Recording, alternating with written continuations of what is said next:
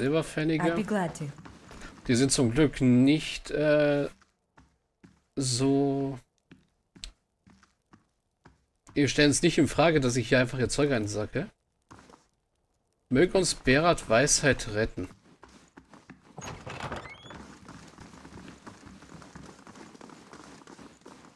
So, hier könnte ich mit Schwierigkeitsgrad 5 reinkommen. Halt, Schwester. Verzeih meine Unterbrechung, aber ich glaube nicht, dass ich die schon mal gesehen hätte. Was? Ich habe keine Zeit, mich mit deiner mangelnden Wahrnehmung abzugeben. Fort mit dir. Ich habe erst kürzlich mein Gelübde eingelegt. Macht nichts, ich werde das hier auf die harte Tour erledigen. Ich habe erst kürzlich mein Gelübde abgelegt. Der Paladin brunst. Und wer ist das bei dir? Noch mehr Rekruten. Ich verstehe. Welcher Vorgesetzte wurde dir zugeteilt? Äh, es ist mir peinlich, das zuzugeben, aber ich habe seinen Namen vergessen.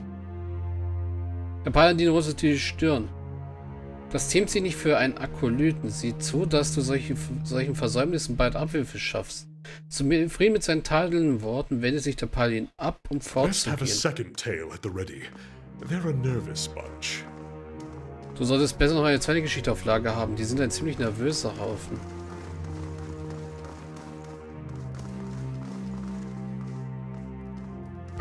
So, hier ist die Belohnung drin. Und es sollte genau. hier noch einen Schädel geben. Genau.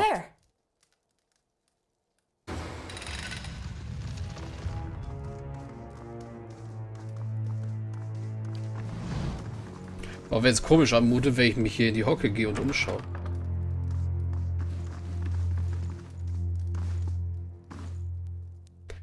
Dieser gebrechliche alte Priester ist über einen Tisch gebeugt und von verstreuten Schriftrollen und Pergamenten umgeben, deren Inhalt er mit Hilfe eines dicken Monekels überprüft. Als du dich näherst, schaut er mit feuchten Augen auf. Also noch mehr Besucher. Du gehörst nicht zu Akolyten und einer der Wächter bist du auch nicht. Seine Stimme klingt wie ein trockenes, leises Krächzen was sich wenigstens zu einem Eindringling macht. Dazu hat dich wohl Kolsk angestiftet, oder? Dann bist du wohl Netmar?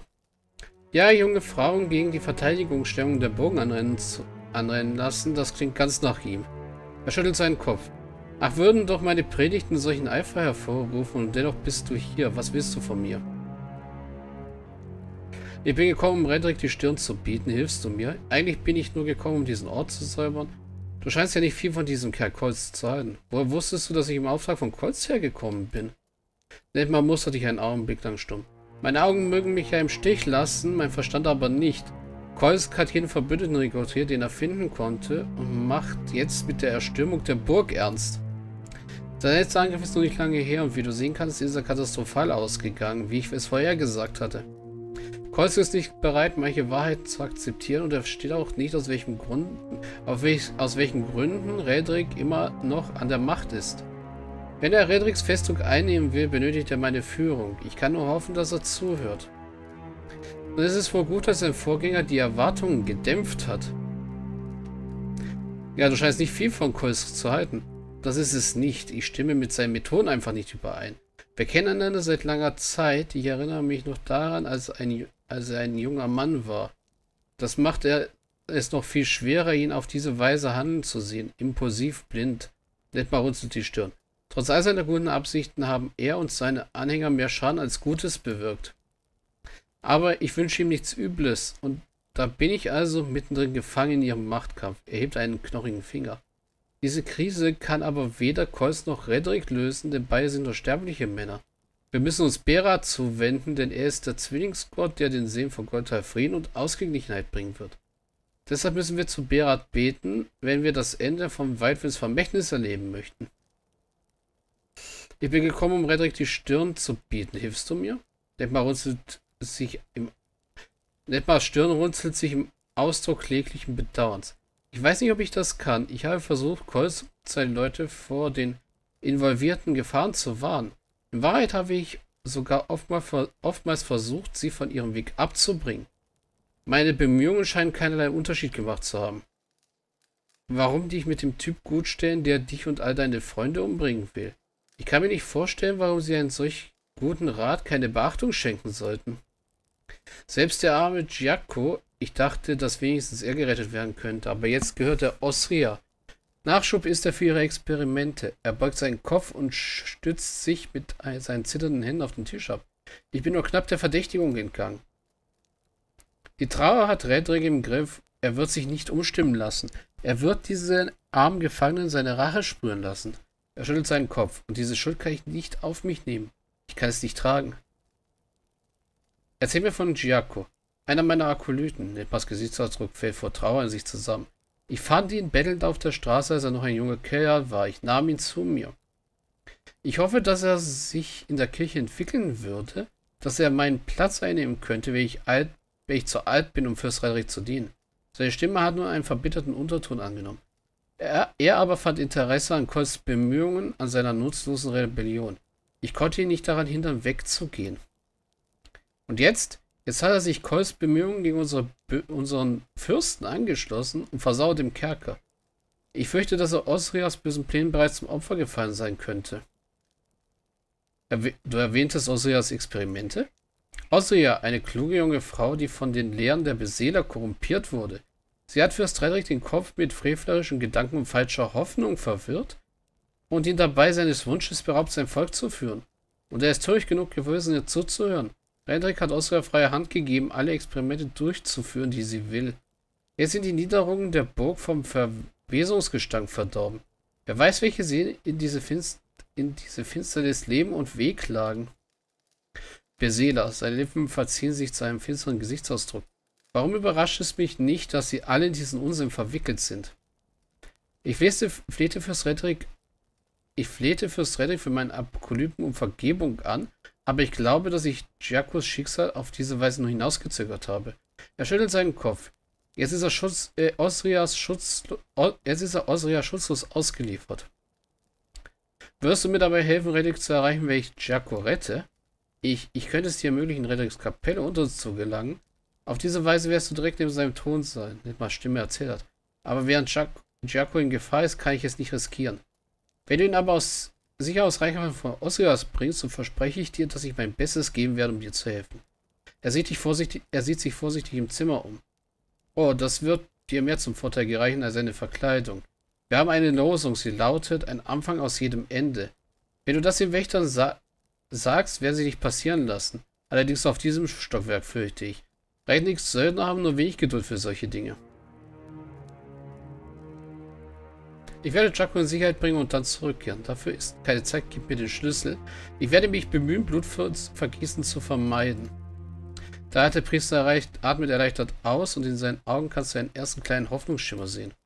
Sei vorsichtig, Osria beherrscht mächtige Magie. Außerdem hat sie eine Vorliebe für grausame Fallen. Wenn du sie verärgerst, wird sie dir sicherlich, wird sie dir sicherlich zu einer schrecklichen Feindin gereicht. Netnoa presst seine Hände zusammen. Mögen dich die Götter leiten. Ja, Jetzt können wir uns hier wenigstens offen umsehen. Eine gute Robe. Eine Schriftrolle.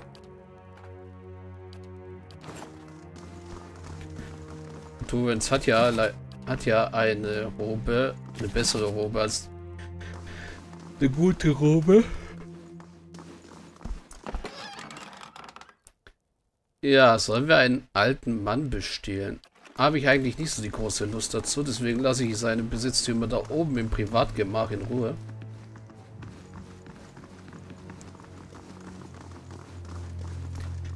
In den Schachteln unter dem Altar wird süßes, moschusartiges Weihrauch aufbewahrt. Möge, Weiß, äh, möge uns Berats Weisheit retten. Der Tempelwächter sagt nichts. Verzeiht aber, ich bin sehr beschäftigt. Verzeiht aber, ich bin sehr beschäftigt, ja. So, mit dir haben wir bereits geredet.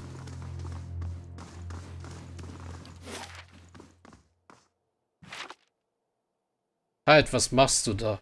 Ein Anfang aus jedem Ende. Die Priesterin kneift die Augen zusammen, nickt aber. Entschuldigung, Akolyt, geh deines Weges. Ja, noch mehr Berat-Paladine. Trinken und noch mehr trinken. Ja, und die werde ich jetzt nicht alle anquatschen, weil sie sagen eigentlich alle nur dasselbe. Ein Met. S und Zutaten. Möge uns BHs Weisheit retten. Punkt, Punkt, Punkt. Okay. Was ist mit dir? Du sagst auch nur Punkt, Punkt, Punkt. Halt, was hast du hier zu suchen? Sei gegrüßt, Bruder, ein Anfang aus jedem Ende. Der Palin grunzt. Entschuldige, geh deines Weges.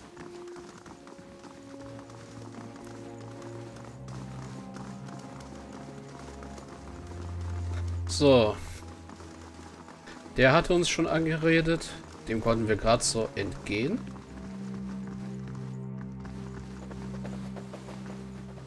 Der Zerschl die zerschlissenen Roben im Kleiderschrank riechen nach Weihrauch. I suppose it can't be helped. Hope that helps. Schriftrolle des Schutzes. Ein Trank der Macht. Geld. Trank der Macht. Eine Schritt Schutzschriftrolle. I'm here. Gut, das heißt, wir können... Wir sind hier oben fertig, wir können die Treppe nach unten nehmen. Und ich denke, bis zu Osria werden wir es nicht mehr schaffen in dieser Aufnahmesession. Aber das heißt, wir schaffen es auf jeden Fall in der nächsten Aufnahmesession nach Ketnur.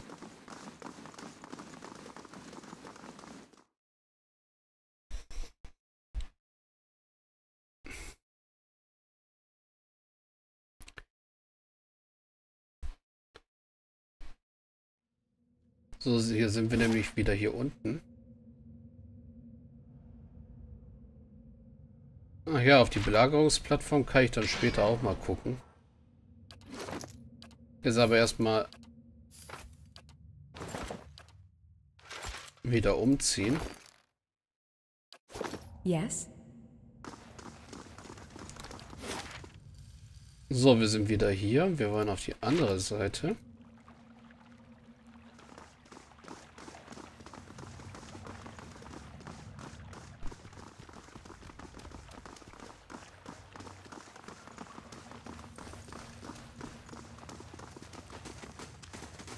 I suppose it can't be helped. Das kann ich einfach öffnen.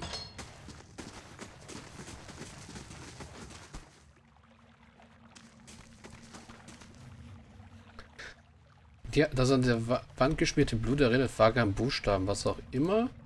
Hier früher stand, ist nun von einem kaminroten ha Handabdruck verdeckt. It's no trouble. There you go. Im Dreck sind ein paar blutige Fingernägel eingebettet.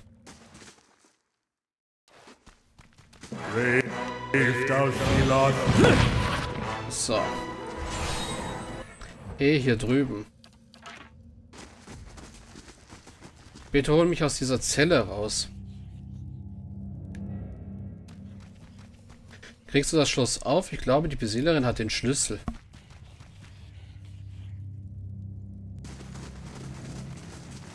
I'll see what I can find.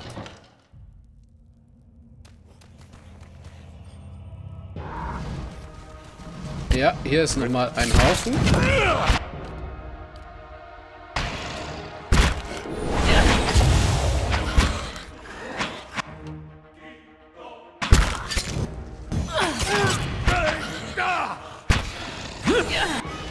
So, Kanna, dann zeig mal, ob du Blitzdings kannst. Ah ja, tatsächlich, das, das macht er einfach nur direkt vor sich. Aber es hat gut gefunzt.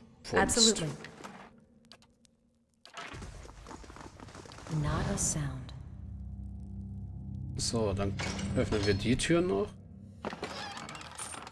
Sacken hier alles ein. Goldobel. Der Goldobel doppelte seine große Goldmünze und selbst in den Variagischen Republiken eine seltene Münze, die meistens vom wohlhabenden Adligen benutzt wird. Jo, einsacken. Der Trank fühlt sich warm an, die brodelnde Flüssigkeit im Inneren bringt das Glas zum Vibrieren. Die Felsen sind mit Blut und stellenweise mit getrocknetem Fleisch verkrustet. Jo. Das ist wohl eins der Laborteile, die wir gefunden haben jetzt. Zu Tempel, zum unteren Festungswall, ja. Gut, das heißt, hier werde ich speichern. Denn jetzt sind wir hier durchgekommen, ohne einen Menschen zu töten, sondern nur Untote bis jetzt. So, das ist dann LP 006. Und ohne ständig neu laden zu müssen. Das ist der definitiv einfachere und richtige Weg hier durch. So, aber jetzt gibt es erstmal einen Cut.